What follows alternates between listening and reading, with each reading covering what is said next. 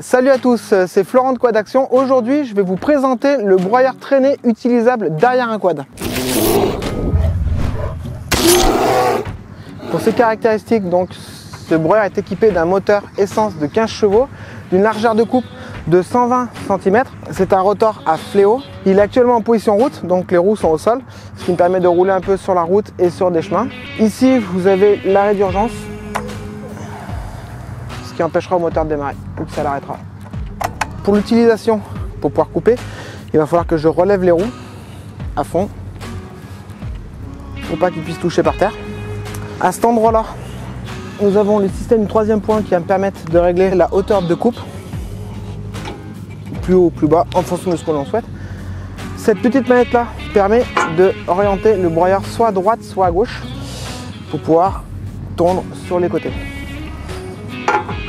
Son utilisation, donc il est idéal pour couper de l'herbe haute, de la ronce et il est aussi possible de passer des branches d'à peu près du diamètre du pouce. Sans plus attendre, je vous propose de le voir en action.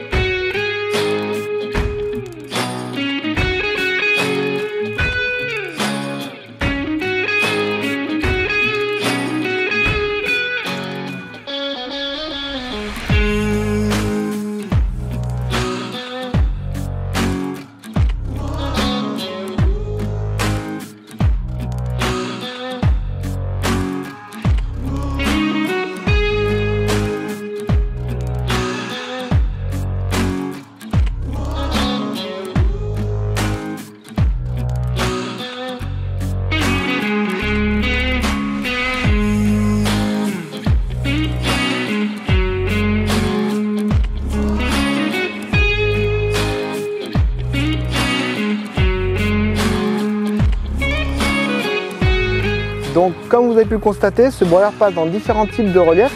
Il accepte de l'herbe euh, suffisamment haute, il ne rechignera pas pour la couper.